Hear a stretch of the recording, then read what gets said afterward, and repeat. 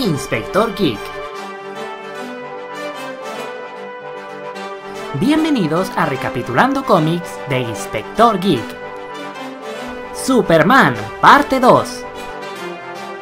Nuevamente, muchas gracias a Astati por el guion. Bienvenidos a una nueva edición de Recapitulando Comics, donde hablamos en resumen de los eventos más importantes que han marcado a los superhéroes hasta el día de hoy, con la intención de que si quieren conocer más a detalle a sus superhéroes, empiecen con este resumen y puedan disfrutarlos más, como la película nueva de Superman, que se estrenó este mes, la cual por cierto no me gustó demasiado, pero ese es mi gusto. Seguimos con el hombre de acero, Después de hablar de sus inicios, poderes, debilidades y un resumen de las edades de los cómics, el día de hoy nos regresamos a la Edad de Bronce para contar más a detalle la historia de Superman. Edad de Bronce. La siguiente edad tuvo un cambio importante en Superman. Con el Comic Code perdiendo cada vez más fuerza, las historias fueron abordando temas más filosóficos en naturaleza, tales como la ecología, derechos civiles, ética y otros temas sociales. Muchas de las historias no envejecieron con gracia, pero como en general la época estaba rebosante de cambios sociales, fue bastante impresionante para su tiempo ver personajes de cómic tratar temas reales. Uno de los primeros y más famosos ejemplos es Must There Be a Superman, una historia donde después de responder a una llamada de auxilio de los guardianes del universo, lo llevan a su planeta, en donde le cuestionan si sus constantes acciones están interfiriendo el flujo natural del desarrollo humano volviendo al planeta cada vez más dependientes de él. Es también aquí donde uno de los pilares de la época, Dennis O'Neill, famoso por devolver a Batman a su etapa oscura después de la Edad de Plata, escribe una historia que se desarrolla a lo largo de ocho números conocida como Sandman Saga, donde nos muestra un enemigo que busca la destrucción de Superman no por odio o deseos de dominar al mundo, sino porque necesita hacerlo sobrevivir. Quizás la aportación más grande de esta historia al mito es que comienza a definir a Clark Kent como un personaje, y no solo como una fachada de Superman. Anteriormente la relación Clark y Superman era tal cual se ve en la primera película, el disfraz de tímido y amanerado que encubre la personalidad heroica. Aquí se comienza a hacerle mayor énfasis a la vida de Clark al reconocerle como uno de los reporteros estrella del periódico por sus propios medios, razón por la cual el nuevo dueño de Daily Planet lo transfiere a su estación de televisión, la WGBS, donde trabaja como presentador. Esto agrega dificultades a su doble vida, ya que si bien puede viajar a grandes distancias y regresar en segundos, no puede simplemente desaparecer cuando está presentando una noticia en vivo en el momento en que escucha que hay problemas sin exponer su identidad o perder su empleo. La tendencia siguió así hasta principios de los 80, donde comenzó a tener sus altas y sus bajas. Una de las bajas fue cuando el lado de la editorial decidió que Superman debía ser escrito como un cómic para niños, con historias cortas y episódicas, más que nada para que le sirviera como introducción a los cómics y subsecuente como plataforma de otros títulos más sofisticados. Para ejemplo está el caso del Supermóvil, que solo apareció en una historia pero fue suficiente para que lanzaran el vehículo con todos los poderes de Superman un año después de su aparición. Esta etapa de historias sencillas y equipos con personajes cómicos duró hasta mediados de la década. La jugada no fue particularmente exitosa, así que se tomó otro giro para intentar incrementar las ventas y es así que los escritores retomaron el camino del héroe. Es aquí cuando Luthor crea su ahora clásica armadura que le permitiría estar a la par físicamente con Superman. También es cuando Alan Moore escribe una de las mejores historias de Superman, For the Man Who Has Everything, donde Mongul, un enemigo de Superman, lo tiene atrapado en un trance que recrea uno de sus más grandes deseos y del que le sería imposible salir, pero con la ayuda de Batman, Robin y Wonder Woman logra escapar. Aquí vemos uno de los pocos momentos en que Superman está realmente enojado. El cómic fue adaptado en un episodio de la Liga de la Justicia Ilimitada, del mismo nombre, fuera de cambios menores en la misma historia. Ahora, llegamos a 1985. La idea del multiverso permitía un número ilimitado de opciones para los escritores, pero como después se vio a la larga, volvió a ser bastante difícil seguir la continuidad. Cargando con décadas de historias y cambios de equipos creativos con diferentes visiones, era imposible llevar una secuencia sin contradecirse, y la idea de múltiples mundos solo lo empeoró. Cuando DC llegó a su aniversario 50, decidió celebrarlos con un evento tan grande que involucraría a todos los personajes de la compañía que se estaban publicando en el momento y que eliminaría totalmente la idea de las tierras paralelas, reescribiendo la realidad. Crisis on Infinite Earths en la historia, los héroes de distintas tierras y tiempos, entre ellos el Superman Tierra 1 y Tierra 2, Superboy Prime y Alexander Luthor, hijo del ex Luthor de Tierra 3, el único héroe en una tierra donde la Liga de la Justicia era un grupo de villanos, luchan contra el Anti-Monitor, la encarnación de la antimateria que ya ha destruido todas las tierras del multiverso a excepción de las últimas cinco. En un punto de la historia, los héroes y villanos se unen para viajar al origen del tiempo y evitar que el antimonitor lo reconstruya de modo que solo exista su universo de antimateria. El resultado de la lucha fue la fusión de las tierras restantes en un único universo con Tierra 1 como base. Tras una larga batalla, el antimonitor finalmente es derrotado, cuando Kal-El lo lanza al centro de un sol, lo que ocasiona que el universo de antimateria se colapse. Y sin un medio para salir de ahí, Kal-El, Superboy, Alex Luthor y Lois Lane de Tierra 2, que Alex salvó antes de su universo fuera fusionado con el resto de las tierras, son llevados por este último a lo que él llama un paraíso dimensional, donde vivirán por siempre. Una vez terminada la crisis, lo primero que se hizo fue dejar en claro que el cambio sería permanente. Para esto, Alan Moore escribió una historia en dos partes, que serviría para marcar el fin de Superman pre-crisis. Whatever Happened to the Man of Tomorrow. En ella se narran los sucesos que llevaron a la desaparición y presunta muerte de Superman. A lo largo de esta historia, tanto sus enemigos como sus amigos van muriendo, hasta que al final Superman es obligado a tomar la decisión de romper su juramento y matar a uno de sus más grandes enemigos. Cerrado ese capítulo de la historia, era hora de poner las bases de una nueva continuidad. Es así como uno de los escritores estrella de la época, John Barney, escribe la miniserie The Man of Steel, junto con otras dos donde se recuenta el origen y trasfondo de Superman. En este nuevo origen sabemos más sobre Krypton. Ahora el planeta está virtualmente muerto fuera de las ciudades kryptonianas. Originalmente los kryptonianos evolucionaron naturalmente. Ahora esa evolución se debe a miles de años de manipulación genética en la población. Las emociones no están propiamente prohibidas, pero para su estilo de vida las ve como algo inaceptable, por lo cual Llorel es visto como un fenómeno cuando desarrolló una emoción conocida como amor hacia su pareja Lara.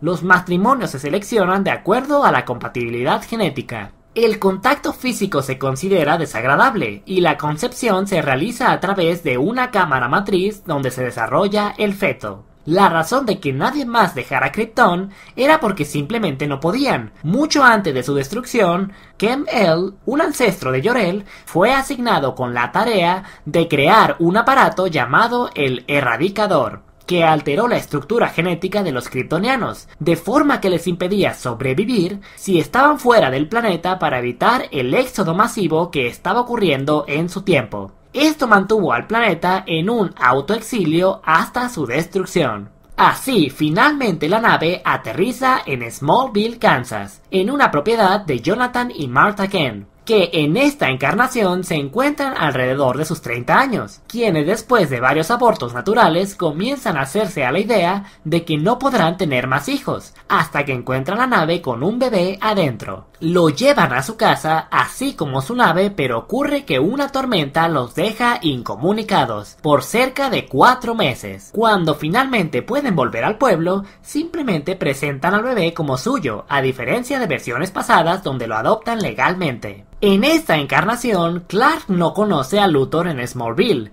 tampoco desarrolla superpoderes hasta los 8 años, que es cuando lentamente comienzan a aparecer la invulnerabilidad y la fuerza, culminando con la habilidad de volar a los 18, y un par de años después con la visión de calor. Aquí Clark aprovecha sus poderes para volverse una estrella deportiva, hasta que Jonathan le hace tomar conciencia de que no es lo correcto usarlo para destacar entre los demás. En su último año de preparatoria finalmente le cuenta la verdad mostrándole la nave en la que lo encontraron. Con la revelación se da cuenta de que es especial por una razón, y decide viajar ayudando de forma anónima a cualquier lugar que lo necesiten decide instalarse en Metrópolis donde consigue un trabajo en el Daily Planet, el cual seleccionó ya que le permitía estar en contacto con las noticias en caso de que necesitara su ayuda, en caso de ser necesaria su ayuda. Su debut en Metrópolis ocurre durante la celebración del centenario de la ciudad, cuando un avión espacial experimental tiene un accidente y debe intervenir. Pero en cuanto pisó suelo, una multitud lo abrumó pidiéndole entrevistas, usarlo para vender cosas, que cure niños, etc. Dándose cuenta de que todos querían algo de él, entonces vuela de nuevo con sus padres, pidiendo un consejo. Entonces es Jonathan quien sugiere la idea del traje y la doble identidad. Ahora finalmente podemos decir que Clark Kent era un personaje en forma. Seguía siendo el cauto y ligeramente amanerado reportero, pero también demostraba tener personalidad. Contaba con bromas en el trabajo. Si Lois era altanera, le respondía sin ser maleducado. Le gustaban los deportes e ir a partidos y comer hot dogs y pretzels. Algo que también era nuevo en esta interpretación era que los Ken seguían vivos. Anteriormente su muerte fue la razón por la que decidió dejar Smallville y viajar a Metrópolis. Ahora eran parte recurrente en su reparto de apoyo. Otro punto que se toca es la primera vez que se encuentra con Batman. Uno de los cambios de la crisis fue que en la nueva Tierra existieron dos generaciones de superhéroes, los de la Edad de Oro, que estuvieron activos durante los 30 hasta la Segunda Guerra Mundial, y los que comenzaron a aparecer después de Superman. Durante la historia, Batman obliga a Superman a ayudarlo a capturar a una asesina chantajeándolo. Superman quiere entregarlo a la policía ya que es buscado por vigilantismo pero Batman preparó algo para evitar que lo capture, usando un campo de fuerza que detecta materia super densa, entiéndase su piel, y le advierte que si lo toca, el campo activará la señal de una bomba que ocultó en algún lugar de la ciudad y que mataría a un inocente no teniendo otra opción, lo ayuda a capturar a quien busca. Al final de la historia, Superman se da cuenta que si bien los métodos de Batman son diferentes de los suyos, también lo son la ciudad gótica y Metrópolis, y tal vez su estilo sea lo que su ciudad necesita. En la última página le dice que ahora que lo ayudó, le muestra dónde escondió la bomba. Acto seguido, Batman la saca de su cinturón y le explica que sabía que era la única forma de que lo ayudara, y que si le hubiera mentido se habría dado cuenta. Los dos se despiden remarcando su respeto por el otro, y Batman menciona que en otra realidad lo hubiera llamado un amigo. ¿Y qué sería del hombre de acero sin su némesis? Luthor también tuvo cambios en su historia. Ahora era contemporáneo de Perry White y de hecho un amigo de la infancia. Creció en el barrio con más alto índice de criminalidad en Metrópolis, cariñosamente apodado Suicide Slump, en donde vivió hasta que creó su primer compañía con el dinero del seguro de sus padres, que cobró cuando saboteó los frenos de su auto. Contrario al científico loco de antaño, ahora Lex es un criminal de cuello blanco y empresario corrupto. Si bien sigue siendo un genio táctico y manipulador, además de tener conocimiento de varias disciplinas científicas, ahora delega la mayoría de las tareas a sus empleados. También tenemos la razón más simple y a la vez más poderosa del odio hacia Superman, envidia. Antes de su llegada, él gobernaba Metrópolis. Oponérsele era una sentencia de muerte. Y todos lo sabían. Pero en cuanto apareció Superman, se dio cuenta de que con todo su dinero y poder no podía doblegar a Superman. Con los años su odio fue escalando al grado de que una vez al recabar información e ingresarla en su computadora,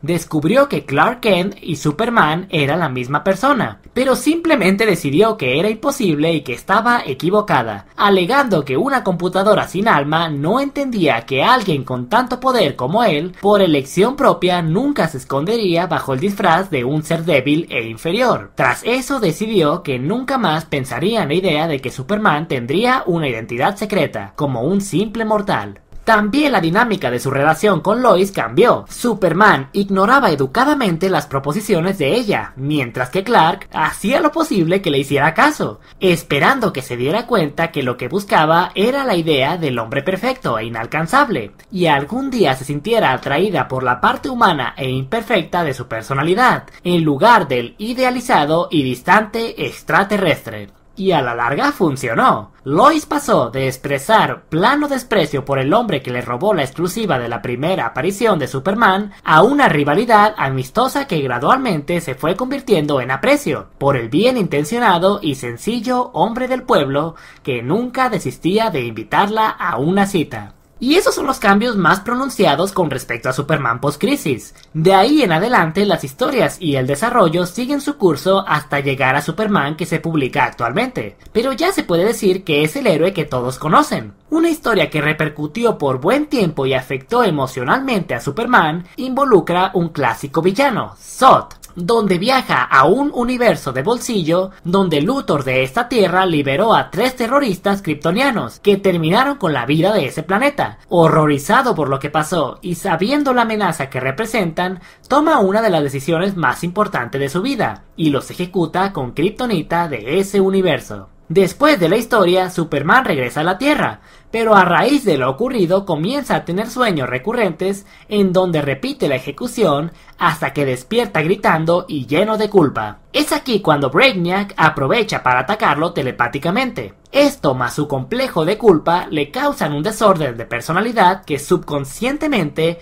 le hace creer que es un vigilante llamado Gangbuster. Cuando finalmente recupera su memoria se da cuenta de todo y sufre una crisis nerviosa. Decide que un Superman mentalmente inestable es muy peligroso para la Tierra y se exilia al espacio. En esta etapa hace su reintroducción un enemigo anterior a la crisis, Mongul, quien lo captura y lo lleva a su fortaleza móvil War World, donde lo pone a luchar como un gladiador contra otros esclavos. Esto se vuelve más difícil ya que al estar tan alejado de un sol amarillo, pierde varios niveles de fuerza. Como es de esperarse, acumula varias victorias, pero para disgusto de Mongul, se rehúsa a matar a sus oponentes. Tras esto, decide retarlo personalmente, pero tras una larga e intensa lucha de que de paso ayuda a aclarar la mente de Superman, pierde. Tras esto, Superman decide regresar a la Tierra mientras Mongul jura venganza. Al regresar a la Tierra, Superman trae consigo un recuerdo de War World, el Erradicador, la inteligencia artificial que segregó a Krypton hace milenios, después de que comenzara a operar por su cuenta haciendo cosas como darle poderes elásticos a Jimmy Olsen e intentando transformar a la Tierra en una réplica de Krypton. Tras fracasar a sus intentos anteriores, ahora el Erradicador cambia de estrategia y opta por volver a Superman un verdadero kryptoniano, alterando su mente al grado de que comienza a llamarse a sí mismo Kal-El y usar indumentaria kryptoniana. Tras liberarse de su control, lo envía al Sol destruyéndolo pero en el último minuto usa toda su energía para salvarse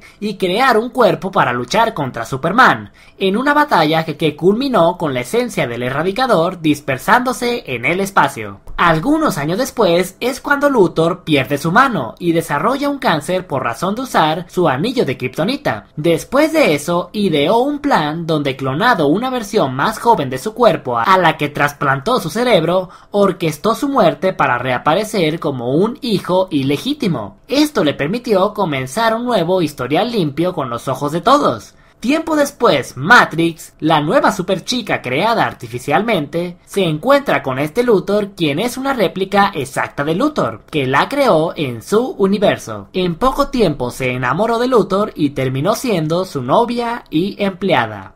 Y empleada. El anillo de Kryptonita fue recuperado por Superman, quien se lo dio a guardar a alguien en que confía y sabe que no abusará de su poder. Batman, a quien conoce y entiende que en caso de necesidad, como cuando el Erradicador o Brainiac tomaban posesión de su cuerpo, tendrá el medio para detenerlo, marcando definitivamente el lazo de confianza que se tienen. Antes de llegar al capítulo más conocido en la historia de los cómics, empiezo con lo que lo originó. Dentro de la historia, Clark y Lois habían ya formalizado su noviazgo, y los escritores creyeron que ya era tiempo que la relación de 50 años diera el siguiente paso. Así Clark le propone matrimonio y una vez que acepta, le revelaría su identidad, ya que no tendría ningún secreto con ella. Ahora que estaban comprometidos, los escritores sabían que la boda era un suceso importante, y estaban bastante emocionados con ella, pero no se concretó. En ese entonces Warner Brothers estaba transmitiendo Lois and Clark, The New Adventures of Superman, el programa live action en donde se enfocaba más al triángulo amoroso entre Superman, Lois y Clark. Los ejecutivos estaban preocupados de que se perdiera el interés en los líos románticos del tipo de se quedarán juntos o no,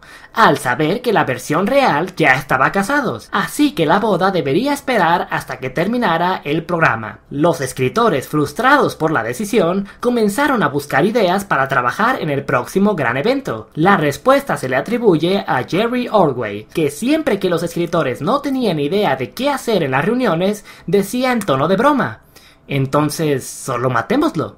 Y lo hicieron. El siguiente evento fue el más sonado en la historia del cómic americano en su historia. Desde el primer anuncio, los medios empezaron a comentar la decisión de DC y si realmente se atreverían a hacerlo, hasta que la historia se publicó y cada estación de radio, televisión y periódico mencionaban la misma noticia. Superman ha muerto. La historia en sí se desarrolla a través de siete números repartidos en cuatro títulos de Superman. Superman The Man of Steel, Superman, Adventures of Superman, Action Comics y un número de la Liga de la Justicia. La historia comienza con un ser desconocido golpeando una pared hasta que se abre paso. Al momento de liberarse comienza a viajar sin rumbo y a destruir cosas sin ninguna razón aparente. Mientras tanto, Superman sigue su rutina sin saber lo que sucede. Y no es hasta que la Liga de la Justicia se topa con él que todos se dan cuenta del peligro al que se exponen. A pesar de que todos los miembros lo enfrentan, no pueden detenerlo. Y uno por uno van venciéndolos hasta que Superman se presenta. Y Booster Gold le advierte de la gravedad del peligro. Al principio parece que puede contenerlo, pero pronto se da cuenta que por más que lo ataque no consigue que pare. La pelea sigue mientras cruzan varios estados hasta que finalmente terminan en Metrópolis, donde la ciudad lo ataca con todo lo que tiene. Finalmente, en el último número, Superman se encuentra con su límite, pero sigue luchando sabiendo que nadie más puede hacerle frente. Los dos dan el golpe final y caen en los brazos de Lois agonizante y con su último aliento le pregunta ¿Dónde está Doomsday? Y acto seguido muere en sus brazos. Después de su muerte ocurre el arco Funeral for a Friend, en el que vemos su funeral y la reacción del mundo a la pérdida de su más grande héroe. A través de los personajes más cercanos a Superman y varios otros héroes vemos lo que significó para cada uno. Al final del arco ocurren varias cosas. Algunas personas se dan cuenta que las heridas de su cuerpo están curadas, algo imposible considerando que está muerto. También Jonathan Kent sufre un infarto. Mientras se debate entre la vida y la muerte, tiene un sueño en el que ve al espíritu de Clark atrapado entre la vida y la muerte. Él le dice que regrese ya que todavía es su tiempo, mientras varios espectros lo escoltan a la otra vida. Ignorando lo que dice, va tras él mientras alucina que está en un campo de batalla en medio de una guerra de Corea. Después es Kismet, la personificación del universo, quien lo envía a Krypton donde Clark, vestido de Superman, se prepara para la otra vida. Tras hacer contacto con él, los espectros que lo escoltaban a Superman lo atacan. Al darse cuenta de lo que pasa, se une a su padre y juntos se van volando. En eso Jonathan despierta y comienza a decir que Clark ha vuelto. Finalmente comienza a haber reportes de gente que dice haber visto a Superman y cuando revisan su tumba la encuentran vacía. Así comienza la última parte de la trilogía conocida como The Reign of the Superman, homenaje a la primera historia de Superman que mencionamos en el primer video, donde se presentan dos personas que dicen ser Superman resucitado, un cyborg con tecnología kryptoniana y un vigilante que usa un visor, un hombre que se cree que está canalizado con su espíritu y un adolescente que clama ser su clon. Los cuatro, cada uno usando uno de los títulos de Superman, The Metropolis Kid, The Man of Tomorrow, The Man of Steel y The Last Son of Krypton, respectivamente estelarizan uno de los cuatro títulos de Superman que se publicarán en su momento. Por un tiempo se mantuvo el misterio de quién sería el verdadero, pero al final resultó que no era ninguno. El cyborg era originalmente Han Heisho, un astronauta que viajó al espacio con su esposa, su mejor amigo y un cuñado. Durante el viaje son bombardeados por manchas solares que le dan poderes, solo que en un giro trágico todos van muriendo, hasta que por último Hank comienza a desintegrarse hasta que su cuerpo muere. Después de eso se revela que su conciencia sigue viva a través de las computadoras, a las que ahora puede controlar, culpando a Superman de todo lo ocurrido, ya que al parecer la explosión solar que causó el accidente se debió a que Superman mandó al Sol al erradicador, y entonces consiguió acceso a la nave en la que Superman llegó a la Tierra que en ese tiempo había escondido en órbita, y viaja al espacio. Por eso cuando regresa a la Tierra tiene tecnología kryptoniana y el ADN de Superman. El Superman con visor resultó ser el erradicador. Después de su última derrota todavía le quedaba una ínfima parte de su energía que le bastó para seguir existiendo en su forma espectral. Cuando Superman murió intentó regresar a su cuerpo, pero en su lugar al tocarlo sus células fotosintéticas le dieron la suficiente energía para volver a desarrollar un cuerpo físico genéticamente igual al de Superman. Steel se reveló como Henry Irons, pero fuera de usar su símbolo no tenía ninguna relación con Superman. Superboy fue algo complicado. Originalmente era imposible clonar el ADN kryptoniano, así que por principio no era un clon de Superman, sino un clon humano con poderes que imitaban a los suyos. Esto fue modificado años después, haciéndolo un híbrido humano kryptoniano. Volviendo a Superman, tras dos semanas finalmente regresó, pero había perdido sus poderes y ganado su infame greñero. Al mismo tiempo, Hensha se revela como villano y junto con Mongul destruye la ciudad costera, la ciudad de Green Lantern. Superman y los otros Supermanes se enfrentan a él, hasta que finalmente logran derrotarlo poniéndole fin a la trilogía y con el regreso triunfal de Superman. Una vez de vuelta en el mundo de los vivos, estaba el problema de explicar la ausencia de Clark Kent, quien llevaba dos meses desaparecido después del ataque de Doomsday. En un golpe de suerte, la solución apareció por sí misma. Tras detectar signos de vida bajo los escombros de un edificio destruido, se encuentra con un par de niños escondidos. Los escombros no permitían escuchar sus gritos de auxilio, pero se mantuvieron vivos gracias al agua de las tuberías y comida que llevaban consigo. Cuando Jimmy Olsen se entera de eso, se emociona por la posibilidad de otros sobrevivientes, entre los cuales podría estar Clark Kent y con la ayuda de Matrix, Superman rescata a Clark Kent ante una multitud de reporteros que ven como Lois le da gracias por salvar a su prometido. Las siguientes historias después de la resurrección fueron algo trágicas con la aparición de varios enemigos nuevos. Uno de ellos era una nueva versión de Toyman, que a diferencia del tipo que usaba juguetes y robots para robar bancos y que no intimidaba a nadie, este era un loco que en la escala del 1 al 10 era Norman Bates quien secuestró al hijo de Cat Grant y lo mató cuando intentaba escapar. Tiempo después ocurre Hunter Prey, donde Superman, teniendo pesadillas acerca de Doomsday, decide buscarlo y saber si realmente está muerto. En eso, el asteroide donde Superman Cyborg aprisionó su cuerpo tras lanzarlo al espacio es encontrado por una nave con rumbo a Apocalypse. Tras matar a toda la tripulación y llegar al planeta, Darkseid se da cuenta de su presencia y lo ataca con sus rayos Omega, pero incluso ellos no surten efecto. Tras vencer en combate a su lacayo Dizat manda una llamada de auxilio a la Tierra. Cuando Superman viaja al planeta para su sorpresa, descubre que Doomsday también regresó. En esto descubrimos un par de cosas de este último. Fue creado por un científico en Krypton hace miles de años, en un experimento que buscaba encontrar la forma de vida perfecta. El experimento consistía en enviar un bebé a una superficie de un planeta, donde invariablemente era destruido por la atmósfera o criaturas que la habitaban. Entonces los restos eran clonados, en una versión más fuerte que la anterior. Esto duró varias décadas hasta que por fin el experimento fue un éxito. El ser que llamaba el definitivo había matado a todas las criaturas y podía existir sin aire ni comida. Y cada vez que moría su cuerpo se adaptaba de forma que era imposible usar el mismo método dos veces. Finalmente se encuentra con su creador y lo mata. Tras escapar del planeta en una nave que traía suministros en el equipo, comienza a viajar por el universo causando destrucción hasta que llega al planeta Catalón, donde consiguen matarlo por primera vez. Lo preparan para la muerte de acuerdo a las creencias del planeta y lo lanzan al espacio, donde viaja hasta caer en la Tierra. También se conoce la razón del odio hacia Superman. Cada vez que Doomsday lo ve, lo que encuentra es a su creador.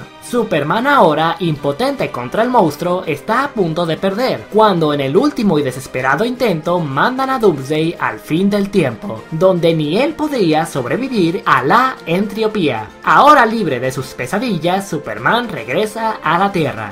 Ok, creo que es demasiado por hoy. De nuevo, hemos visto una gran parte de lo que ha sido las historias de Superman, pero aún no terminamos a hacerle justicia a más de 70 años de historias. Así que sigan sintonizados para la tercera y última entrega de las aventuras de este gran héroe. Nos vemos en el siguiente Inspector Geek.